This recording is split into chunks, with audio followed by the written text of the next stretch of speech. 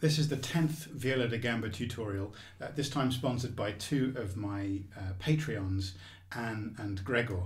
Um, and both of them would like to uh, learn a bit more about playing fast notes.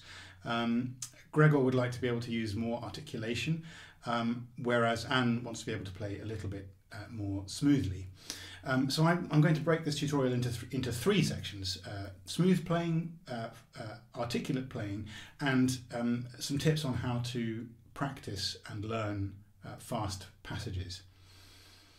Um, one of the things I, I, see very, very often in, in lessons um, is players uh, bring, bring a, a, fast passage to me that they're having trouble with, and um, uh, I ask them to demonstrate it, and they, they often play right at the tip of the bow.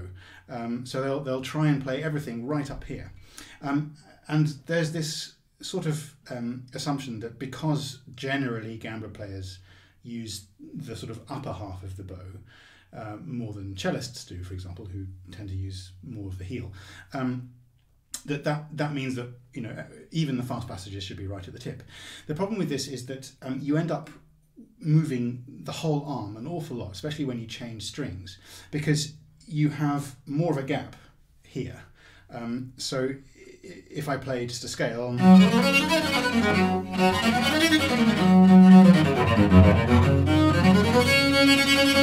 there's, there's a lot of motion that is unnecessary. Um, so in order to get around that, um, we can actually play, or at least feel free to play closer to the middle of the bow or even towards the frog. Um, this isn't, we don't necessarily always want to play um, further further up the, the bow, um, but it can be useful. So if you're having trouble with a, with a difficult passage, first of all, see to what extent you're playing right at the tip of the bow. So to start with, let's look at um, playing uh, fast passages smoothly. And for this, I'm going to use um, uh, an excerpt from one of Abel's unaccompanied pieces. It's from a, a sort of suite composed for the Lady Pembroke. Um, I'll put some excerpts on the screen. Uh, and this excerpt's good because it's uh, it has uh, conjunct and disjunct motion. Um, so we can sort of look at how we might um, approach playing playing this this section uh, in different ways. So if we're going to play smoother, um, I think it's probably okay for us to use the upper part of the bow towards the tip. Um, it'll also mean using um, a little bit more bow than we would if we wanted to play very short. Uh, if you use a very small amount of bow, then you're going to exaggerate the um, the bounce of the bow, uh, and uh, by its nature, it will sound short. The notes will sound shorter and more articulate. Um, so let's let's just experiment with with playing this passage uh, a little bit more smoothly. So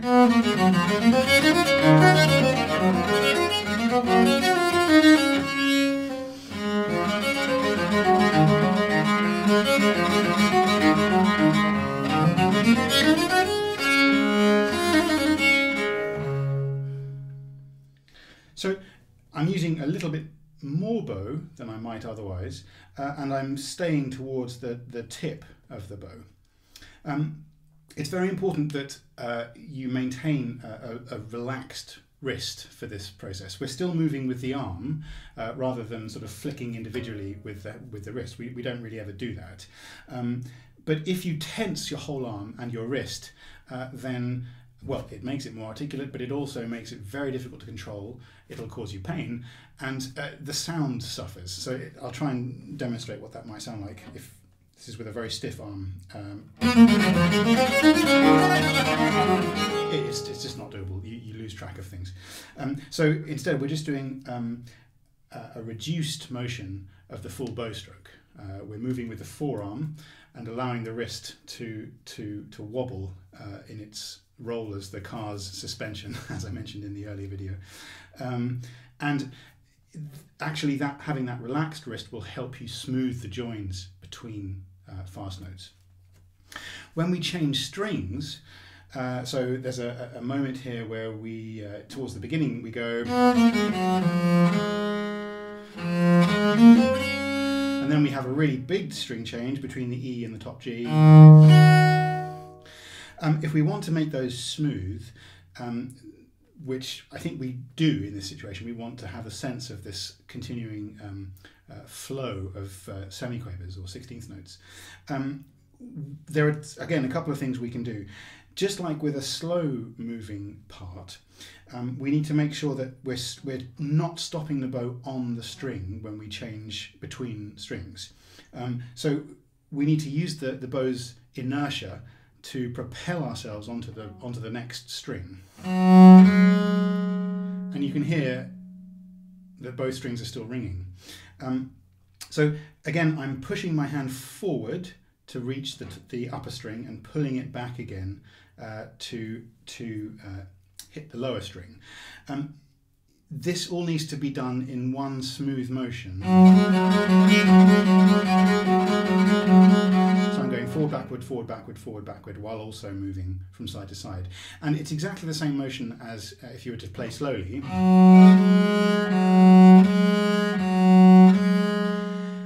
It's just sped up. The other thing that can help um, is keeping your fingers down. If I try and lift my fingers off between uh, these uh, string crossing uh, sections of this fast passage, then things immediately start to sound messy. It's actually really hard to do. Um, whereas if we keep the string, the um, fingers down,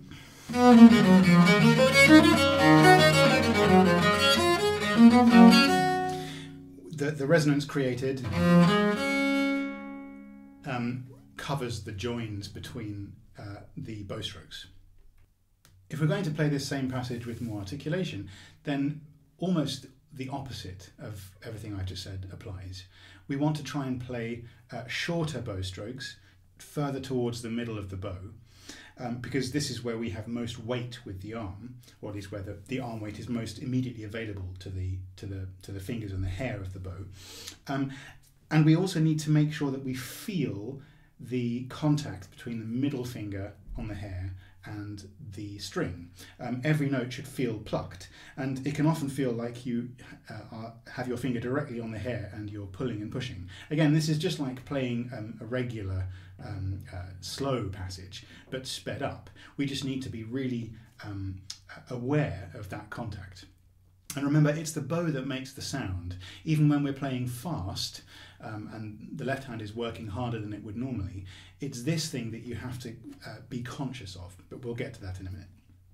So, uh, to approach this passage with a more articulate um, uh, uh sound, um, I'm going to try playing closer to the uh, middle of the bow uh, with shorter bow strokes and we'll see what happens. So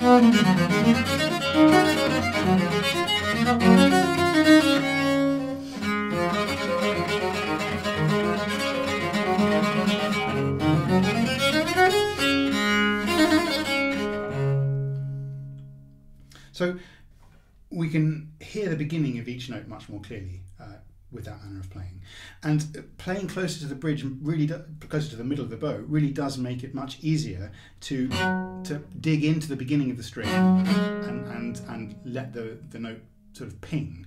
Uh, and that initial pluck really is the middle finger. So again, we're relaxed at the wrist, moving with the arm, but there's a little bit more engagement with the middle finger on the hair um, so that we can pluck the string as we go.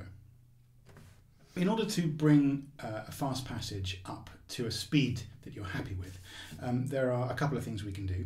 One of them is extremely boring, although ultimately rewarding, um, and that is to use a metronome to practice the section um, very slowly and gradually crank the tempo up until you've reached your, your target speed.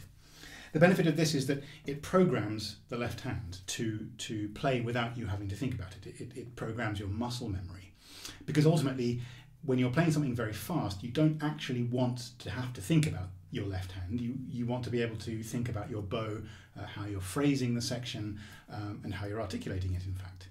So here's what this might look like. I've got my my metronome on my phone here. I'm going to take this passage and um, I'm going to set the tempo at uh, crotchet equals uh, 50 so it's very slow. The piece is in two uh, so it's going to make things very easy for me. Um, before you do this, by the way, it's a good idea to have looked through it and to figure out what sort of fingerings you, you it looks like you're going to need to be able to play a passage. Um, it doesn't mean you have to stick to them, and in fact, as you get faster, you may find that um, you need to, to change your fingerings to, to accommodate the, the faster speed. So here we go.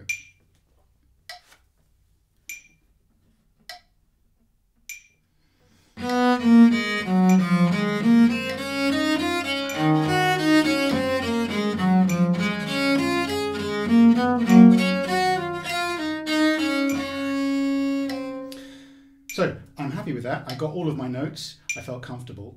So the next step is, well, I tend to, to increase the speed by five points. So I'm at 50s now, crotchet equals 50, so I'm going to go up to crotchet equals 55. Doesn't feel like much of a speed increase, but that's a good thing.